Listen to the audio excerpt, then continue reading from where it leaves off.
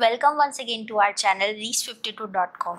We have a lot of question regards to use one app to control our whole entire smart home.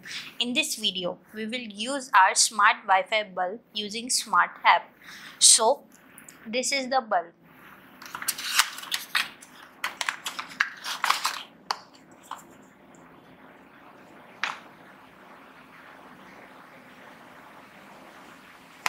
And I have got some instructions.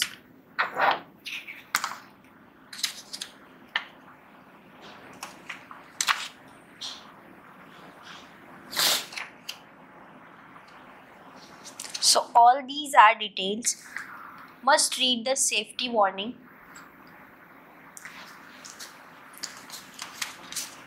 So let's get started. First of all, scan the QR code mentioned in the manual or you can just download through Google Play Store and Apple Store according to your device. Once you downloaded the app, it looks like this. Open the app, register it, select your country, then enter your email ID. An OTP will be sent to your email address. Now enter the OTP.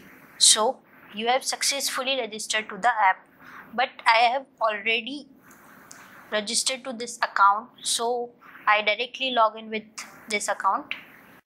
Now we will connect the wi-fi bulb. Before connecting the bulb must ensure that your wi-fi connectivity is good and device and bulb should be close enough to the router. So these types of bulbs are actually cloud based so hence why you need the app so if we click to add we'll go to the lighting devices. And it's saying pair on the device the light and confirm that the light rapidly blinks. Well smart life supports two type of distribution network modes ez mode and the ap mode. And the ez mode is default. In the ez mode smart bulb is in a state of fast flashing like two times about a second. In the ap mode Smart bulb is in a state of slow flashing means 1 times about 2 second. After entering the add devices page, confirm whether the bulb is EZ mode. If not, you can switch to EZ mode by a continuous operation of on off repeatedly. Let's show it is in action. Now if you plug the lights in and it doesn't rapidly blink, then what you do you just turn it off then on repeatedly maybe 5 to 6 times.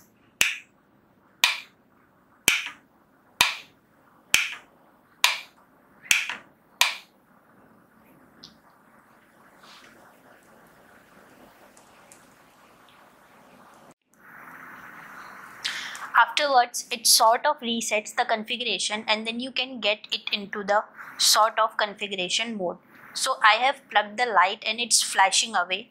So I'm gonna confirm the light is rapidly blink by clicking that button. Now select your Wi-Fi and enter the password. I have clicked confirm.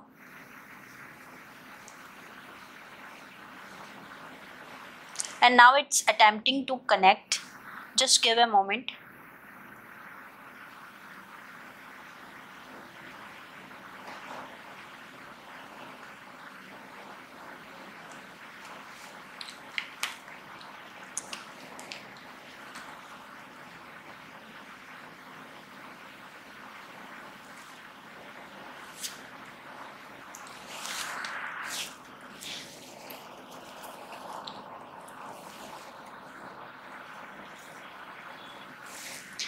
As you can see, the bulb is added successfully.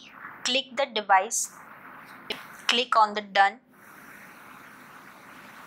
Before clicking on the done, click the device description, text to modify the device name. I have set the name as hall light, then save and then click to done. If I click done, then you go as simple as that. So being cloud based you can actually remotely control it without having to open any ports on your route.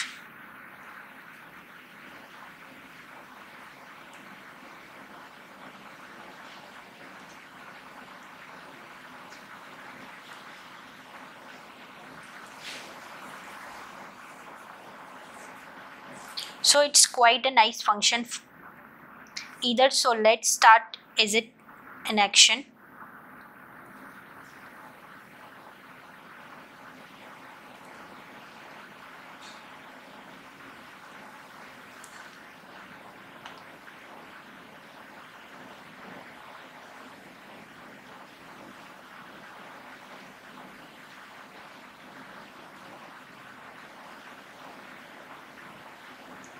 okay first to show that additional functionality you get with light if I power it on you can see some additional option appear at the bottom. So you can actually change the color if you want to. You can change obviously the level how the bright it is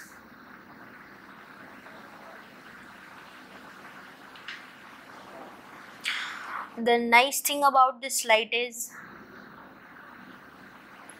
time function. If I clicked on schedule icon I can add a time to set your time.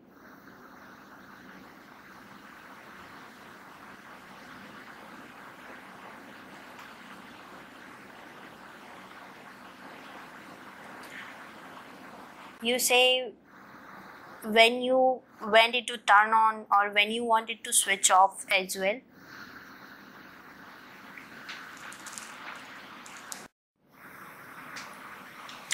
As we said before this is cloud based wi-fi bulb so you can actually remote control it without having to open any ports.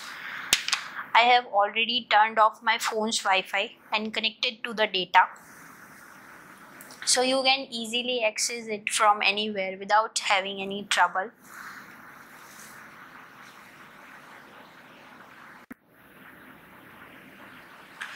So it has functionality with voice command.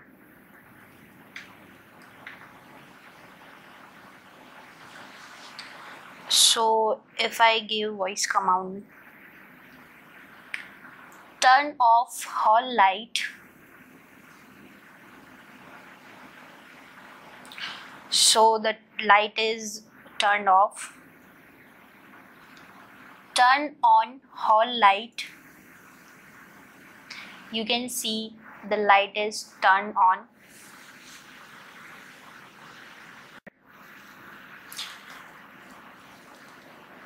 There you go an awesome product. Very easy to configure and I hope it's helpful anyone thinking of buying. Watching and don't forget to like and subscribe.